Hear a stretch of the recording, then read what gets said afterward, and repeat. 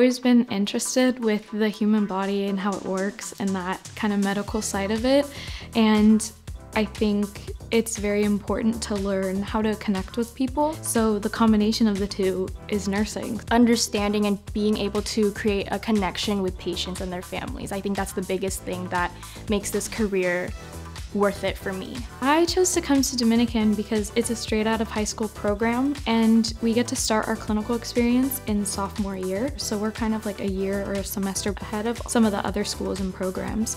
Um, we also don't have to take any extra tests and get picked out of a smaller pool of students. Once we're in, we're in, and I really appreciate that because you can focus on your studies more. You just go straight from pre-nursing to nursing as long as you have your grades. So Dominican is special in the way that it's a small program and the students get very individualized attention from the professors. We place them in different clinicals around the Bay Area and they get the didactic information in the classroom and then they get experience it out in the real world. The most memorable clinical experience that I had was my labor and delivery clinical. It really solidified my passion for labor and delivery because you're with the patient and their family during a really important moment in their life and that was really special for me to be a part of that.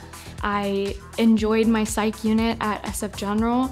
I really enjoyed my pediatrics unit at the Children's Hospital. That's what I love about nursing is that I can do anything with my BSN.